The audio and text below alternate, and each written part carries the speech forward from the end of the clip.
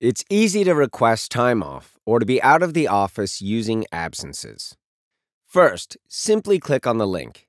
On the following screen, you enter your details on the left. On the right, you see a calendar indicating other requests and planned leave, such as this request to attend a conference, or the time booked here to study for an exam.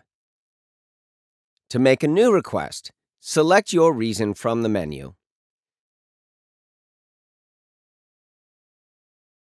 Then, select the first day you plan to be away.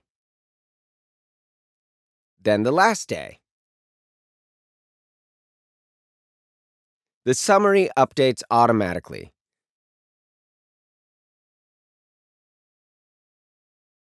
You can add additional information for your manager here. Finally, simply send your request for approval, or save it as a draft to work on later before sending for approval.